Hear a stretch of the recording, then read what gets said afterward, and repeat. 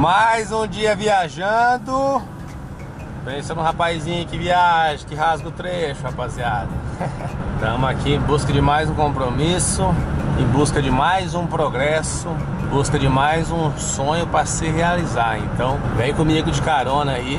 Vamos para mais um vlog do meu dia a dia que vocês estão ligados que eu amo gravar para vocês, rapaziada. Então, começando mais um vídeo aqui do Carabudo Garcia, rapaziada, hoje Estamos indo em busca de Pouso Redondo, já são 7h32 da manhã. Eu saí de Araranguá, era 4 horas da manhã, subi a Serra do Rio do Rastro, passei Lauro Miller ali. Como tava bem à noite, mano, eu saí muito cedo, então daqui a pouco eu nem gravei, porque tava tudo escuro. Passei a serra tudo escuro, então não tem nem graça filmar. Vamos ver se na volta aí eu consigo passar mais de dia, né? O problema é que a Serra do Rio do Rastro, para quem não sabe, aqui na região de Santa Catarina, né? Uma das serras mais famosas do Brasil e do mundo também, por ser um trecho bem sinuoso? Muita curva tal, algo surreal, assim, muito massa. E ela tá tendo umas obras, então ela só funciona à noite agora. Antes ela tava funcionando só de dia, né? Mas agora tá funcionando só à noite. Tipo assim, acho que é das 7 da noite às 7 da manhã você pode passar, depois ela fica fechada pra obra o dia inteiro. E também em busca de Pouso Redondo, visitar o 143 lá na oficina do meu amigo Eduardo Preparações. Como vocês já sabem, nosso caminhão tá lá. Muita gente me pedia pra mim gravar esse projeto, mas como eu tava viajando, fazendo outros corre, né? Participando de várias lives, vários outros business, né? Outros trabalhos. Então não deu pra mim ali visitar ele antes, né? Muita gente me cobrando, ah, dá um jeito aí, vai lá ver o caminhão. Rapaziada, o 43 tá fazendo bem longe de casa, então assim, é quando eu tô pra essa região de cá que eu consigo ir ali ver como é que ele tá. É, tivemos vários problemas na questão de achar peça para ele, porque por ser um caminhão raro, é muito difícil de achar peça, né? As peças são bem difíceis assim, de encontrar, né? Acha muita peça usada, só que muita peça que não tem mais qualidade, às vezes peça que já não se aproveita mais. Então tá bem difícil, né? Se chegou agora no canal, não se esqueça de se inscrever aí embaixo. Fazemos vídeos diariamente, aí todo dia ao meio-dia. Me segue lá no meu Instagram também, arroba Bruno Garcia YT. Tem vários stories, várias fotos, muita zoeira. Todo dia vocês sabem. E é isso daí, fechou? Tamo aqui na BR, tamo na pista. Daqui a pouco tamo ali em Pouso Redondo. Aí eu vou gravando mais pra vocês aí. Tô na caminhonete do meu amigo Luciano lá da DR3 Autopeças. Tô levando algumas peças pra ele já também. Vamos fazer essa ultrapassagem aqui. Tô levando algumas peças lá pro Eduardo também. O Luciano pediu pra mim. Então peguei a caminhoneta aqui, a Hilux. Depois vou gravar mais pra vocês aí. Fechou, rapaziada? Então, muito bom dia. Vamos pra luta, mais um dia de conquista, de trabalho e marcha na boneca, filho. Você ficar em casa aí, o progresso não vai bater na sua porta. Então, cai no mundo e vamos conquistar. Fechou? Deixa o like aí também, que é muito importante, hein? Bora que bora. Tô com o ex aqui, ó. Pra mim não ficar perdidinho aqui nessa região que eu não conheço muito bem. E bora, marcha na boneca. Aí, ó. Acabamos de chegar aqui no Eduardo. Estamos descarregando as pecinhas que veio na caminhoneta. Nosso 43 está ali. Já vou trazer as atualizações para vocês. A oficina está lotada. Como vocês já sabem aí. Serviçada para todo lado. E o 43 está ali, rapaziada. Aí o bichão. Ah, todo desossado, não sobrou mais nada. Olha aí. Ó, oh, meu Deus, cara. Rapaziada, já colocamos aqui o eixo de ônibus. O Eduardo já fez a instalação pra gente junto com a barra. Aí como é que ficou? Aqui ele tá com cinco molinhas, né, por enquanto. Porque eu ainda não tenho a suspensão a ar ali, né? Tá direto no eixo. Tá na suspensão fixa, no caso, né? Já foi revisado toda a parte de freio do cubo dianteiro. Foi montado tudo certinho, tudo revisadinho. Depois vai ser pintado, né? Pra ficar bonitinho e tal. Foi montada a barra também. Aí como é que tá? Não tem nada no caminhão de parte mecânica, cara. Tá só o chassi e a cabina, cara. Aqui depois ele vai dar uma raspada nesse chassi para tirar toda essa graxa que tá acumulada. A gente vai fazer uma limpa nele depois. Vai mandar limpar, vai trocar, na verdade, todos os canos que tem o caminhão. Botar tudo mangueiramento novo, os canos tudo novo, os coxinhos, vai ser tudo arrumado, tudo deixado filé, tá ligado? Olha a altura que ele ficou, ó. Ele ficou essa altura aqui, mas o caminhão tá sem motor ainda, né? Então assim, depois que montar o motor, ele vai baixar mais um gole. Aqui ele tá 3, 4 dedos. É, 3, 3 dedos. Ele vai baixar mais, né? Quando montar toda a parte mecânica, porque o motor é um peso. Vocês não têm noção, né, rapaziada? De resto, continua tudo desmontadão, ó. Aí por dentro. Tem nada no lugar. A alavanca tá ali, vamos dar um talentão nela também. É, vou perguntar pro Eduardo como é que tá o resto das peças do motor, da caixa, do diferencial. Aí vamos dar mais um parecer pra vocês do nosso projeto. Mas aí, ó, tá tomando forma. O nosso maior problema foi achar as peças desse caminhão e a gente conseguiu achar. Então já tá tudo se encaminhando para mais. É, hoje é uma quarta. Na segunda-feira ele vai começar a vir com a montagem, né? Pessoal da Tudor ali fortaleceu nós nas baterias. Depois eu vou fazer as devidas divulgações assim que der a partida, né? Pra gente ativar as baterias que elas não foram nem ativadas, as duas baterias zero. Depois eu vou postar certinho para vocês aí. E nosso caminhão tá aí, ó. A única coisa que vamos ter que mudar aqui, ó, esse cilindro aqui, o lugar dele original é aqui. Então depois a gente vai botar ele no suporte aqui original, tá?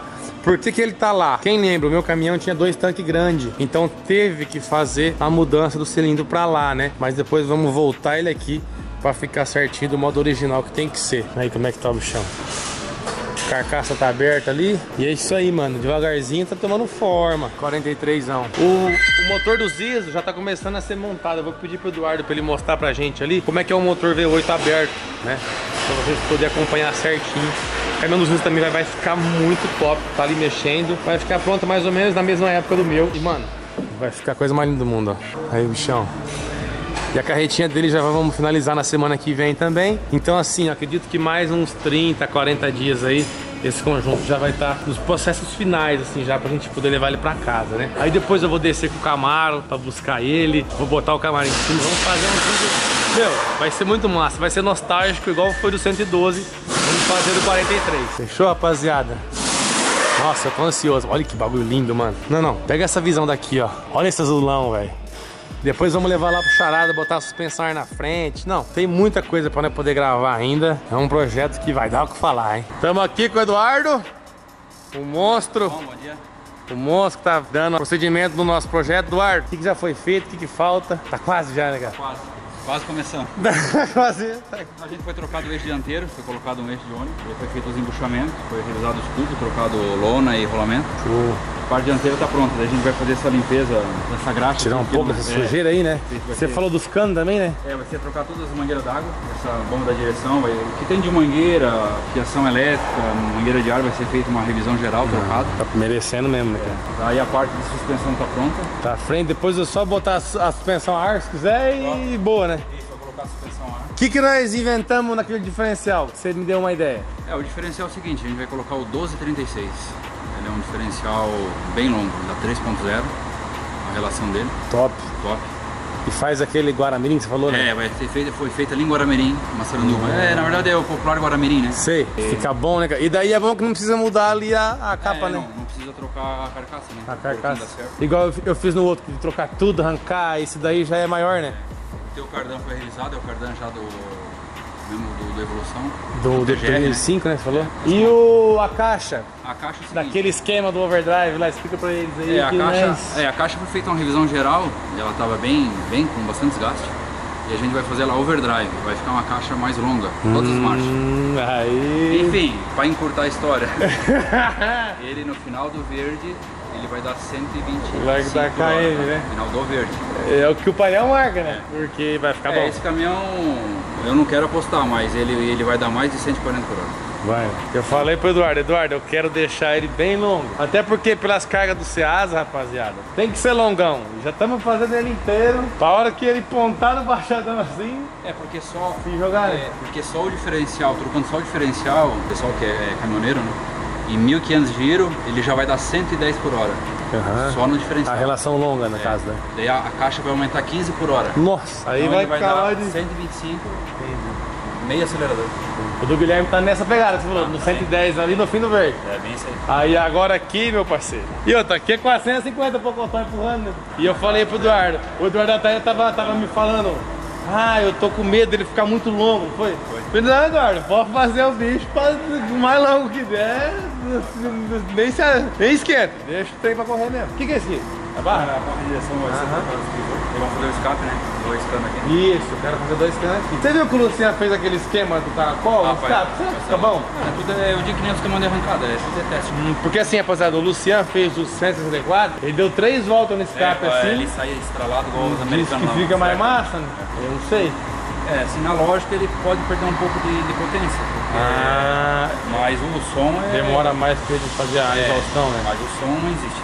Vamos fazer assim, reto. Reto. Depois nós faz um upgrade mais pra frente. Deixa eu te perguntar, tem um- o motor do Zizo já tá ali. Sem motor dele tá dentro. Vamos mostrar mais ou menos como é que é o motor do, do V8 aberto, porque quando eu filmei o, o nosso motor, rapaziada, eu só filmei tirando. E o do Zizo, eu filmei aquele dia que tava aqui no canto, que eu tinha acabado de tirar do caminhão do Zizo. O caminhão do Zizo já tá... Processo final também, né, Eduardo? A parte de mecânica que eu digo, É, né? na, na- a montagem tá pra. Na...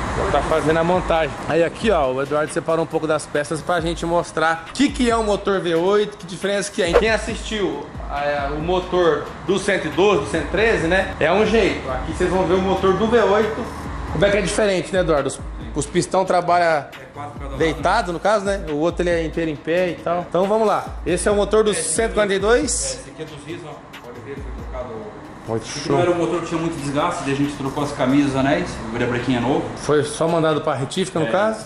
O bloco tava bom, foi trocado o- as camisas. Que diferença que dá desse pro meu? Do, do, do, do 42 pro 43, no caso? O pistão aqui, ó, a câmera. O que- O que é a câmera? Aonde que o bico esguicha o diesel. O teu ele tem uma diferença, mínima coisa, maior e mais rasa. E essa pontinha aqui, que é a ômega, é um pouquinho diferente. Por aí é um motor mais ecológico, é um motor mais sem fumaça. No bloco muda um pouco não? Não, só a, a borracha de camisa não encaixa, né? Ah, Mas a- o pistão muda, pistão, bico, o comando. Esse aqui já foi botado o comando do 43 já. Esse aqui pra vocês é novo comando. O teu também vai ser colocado zero. Top, cara, entendi. Que massa. Daí que nem o teu 113 é, é, é um cabeçote para três cilindros, né? Sim. Esse aqui são tudo individual. No... Ah, esse é do, é do 42 dele também? É, são tudo individuais, são oito cabeçotes. Ah, é oito cabeçote, cara. Isso. Que massa, costucho certinho. Nossa, que bonito, hein, velho. Por isso que o motor é um peso daquele, porque... O motor tem 1.300 kg. Nossa senhora. E o do 113, assim, em média? É, dá um 1.150, 1.100. Ele é uns 200, 300 quilos mais pesado. Tipo, esse aqui é um 124, 1.400. Esse aqui é 1.180 kg. Né? Nossa, o V8 é bem maiorzão, né, cara? Aí aqui depois vai montar a embreagem. Nossa, parece que é até maior do que a do 103, né? Ou não muda muito? Não, ele é o mesmo tamanho. Ah, é o mesmo E aqui tamanho. vamos colocar uma embreagem assim. Ah, verdade, até porque, tipo assim, os câmbios estão todos iguais, né? Do, do 12, do 13, do 12, do 43, o mesmo câmbio dá em todos. É, Muda só o motor no. Ah, entendi. Aí a minha caixa lá vai continuar 6 marchas o overdrive. Você disse que vai ter que abrir um, um tanto, né? Não foi? Ver aqui, ó? Vou explicar por essa caixa aqui, ó. Tá, um exemplo no caso, né? É, essa aqui é uma caixa do C24. Aqui na frente, ó. Essa aqui é a engrenagem. Ó, o eixo piloto encaixa aqui, ó. Sim. Como é overdrive, a maior é de cima. Então vai ter que reabrir o casco. Ah, é aberto no casco. O casco feito uma bucha. E o scanner saiu. ah, uma- os PGR 2009, 2010, saiu a maioria que com versão no cubo 6x2. Uhum. Saiu caixa overdrive. de. Ah, ah, então o overdrive já sai de fábrica. Aí de vocês inventaram uma adaptação para os outros caminhões mais antigos. uma cópia, né? Daí é trocado as duas, né? As duas do piloto.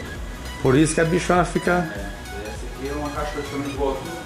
Por exemplo, uma, uma ideia. Eu tenho meu 112 lá que já foi feito tudo certinho. Se eu quiser fazer um overdrive, só o overdrive, quanto que eu gasto?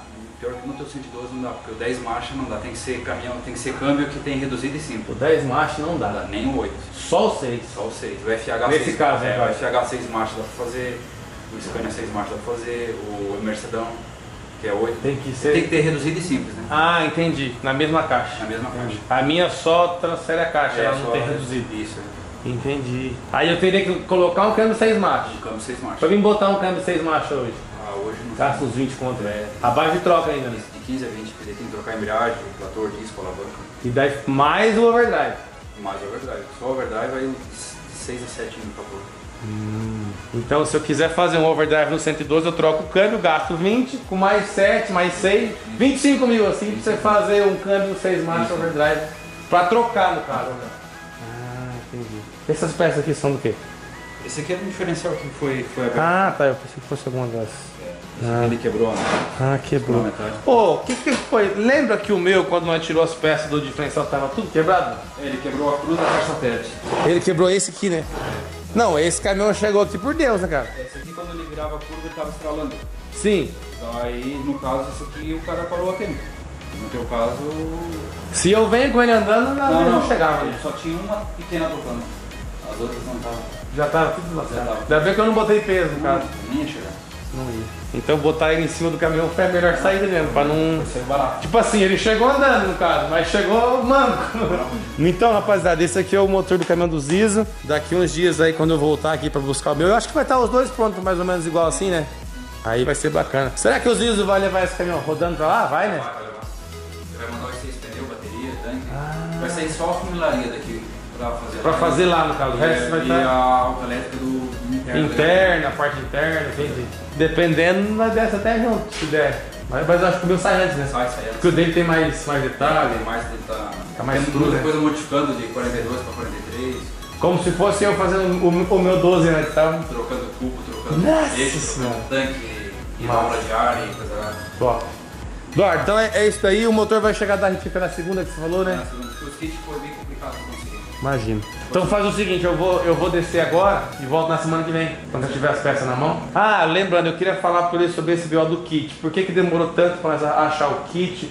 Vira brequim? Conta pra nós, você É, que tem mais kit- experiência. O kit é o seguinte, a, a Mali não fabrica mais, que é a Mali Metal Leve. A KS parou de fabricar em fevereiro do ano passado. Uhum. Então quem comprou e tem em estoque, então foi conseguido em Goiânia 4 e eu consegui em Curitiba mais 4. Ah, meus kits foi montado separado. É, tudo Tipo, foi montando um quebra-cabeça É. pra. pra conseguir. Toda a Nossa, marca hoje em dia tá difícil montar O um. virabrequim deu, o Luciano da R3 conseguiu um. Consegui um, né? Ele falou pra mim. Os cabeçotes, você conseguiu? Os cabeçotes. O meu tinha dois trincados, falou? Quatro. Quatro trincados. É, daí foi conseguido quatro ali em Itajaí, no ferro velho do, do nosso amigo Entendi, cara. Nossa. Rafael, Rafael MC18. Então é o seguinte, o certo pro meu caminhão, o PS43 que eu não tenho pretensão de vender, é se depois que ele estiver pronto e aparecer algumas peças, já é bom comprando e guardando. Coletor. Porque se um dia precisar mexer novamente, ah, preciso trocar um negócio. É, tipo assim, um kit, um kit de pistão já não é muito difícil achar, vai achar só achar na concessionária. E aí, fazer pedido em fábrica. Quanto que é um kit na concessionária? Cada, cada um desse aqui que nós te falamos. 2,980. 2,980 cada cada kit. Cada um, tá? Aqui é um, aqui é outro. Então são oito. É por isso que todo mundo arranca o V8 e põe de 113. E daí um virabrequim já custa mais de 11, 12 mil. É, 11, 12 pau. Por isso que todo mundo, a maioria dos V8 que você vê andando já não é mais, ele foi tirado, né? Os caras põem a mecânica de 113. Que dó, né? É um caminhão bom, né? Mas é. E agora vai virar uma mosca branca do zóio azul, das asas cor-de-rosa, das patas laranjadas, que ninguém tem outro igual. E vamos mandar cromar todas as pecinhas do motor, depois eu quero ver se eu acho uma foto. A tampa de válvula, esse cromado, Tampar. a emissão, esse Ah, sim, sim. Aqui, tipo, essa aqui, né? Isso. Essas tampas do meu vai ser tudo cromada, rapaziada. Essa admissão aqui, tubo de emissão. Tudo tampa cromadão, tá ligado? E tudo que for detalhezinho, caninho, que der pra nós cromar, nós vamos cromar. E vamos pintar ele de verde, que é o original no caso. É né? o verde original, vou pegar aquele. Ah. 96 a 98. Show de bola, Eduardo. É isso daí. Então semana que vem estamos de volta aí. Vou vir encher teu saco mais um pouco. Pra nós começar a fazer as montagens. Ah, vai ficar massa, rapaziada. Então é isso daí. Espero que vocês tenham gostado. Todo mundo me pediu novidades e atualizações aí do V8, do 43. Eu vim aqui exclusivamente para fazer só esse vídeo. Então semana que vem estamos de volta aqui. Enquanto eu também já termino a carretinha lá em Araranguá, beleza? É isso aí, rapaziada. Eu tô indo nessa. Um beijo, abraço. Até o próximo vídeo. Valeu, é nóis e fui. So tell me what you want, tell me how you want it. Tell me all the reasons that you're running away. I don't think you're here to stay.